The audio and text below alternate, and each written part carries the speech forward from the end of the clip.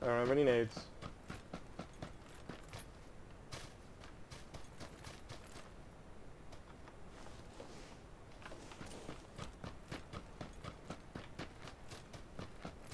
I kind of thought you were dead already, Smith. I'm sorry. I'm not expecting much from this.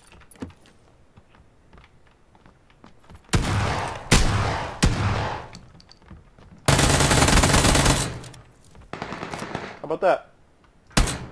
Nice work.